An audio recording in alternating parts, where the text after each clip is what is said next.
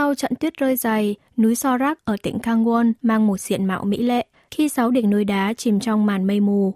Toàn bộ khung cảnh phía dưới được khoác tấm áo choàng tuyết. Dãy núi Bạch Đu đã biến thành xứ sở tuyết trắng chỉ sau một ngày. Như đỉnh Hang Nô nằm trên địa phận huyện Cô Song, tỉnh Kangwon đã có tuyết rơi dày tới hơn 70 cm.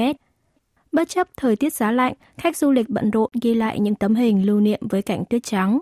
Một du khách đến từ tỉnh Gyeonggi chia sẻ cảm thấy tinh thần phấn chấn khi nhìn thấy tuyết, như quay trở về tuổi thơ, muốn chơi các trò chơi thời thơ bé.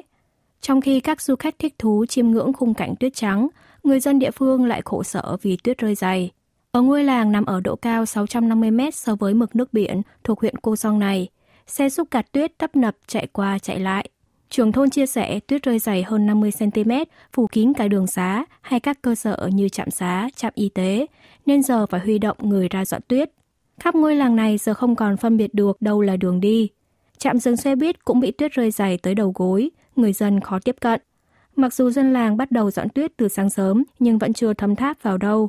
Do khó có thể dọn hết tuyết được cùng một lúc, họ chỉ tập trung dọn từ các khu vực đỗ xe và lối đi. Cảnh báo tuyết rơi dày tại khu vực tỉnh Gangwon đã được dỡ bỏ.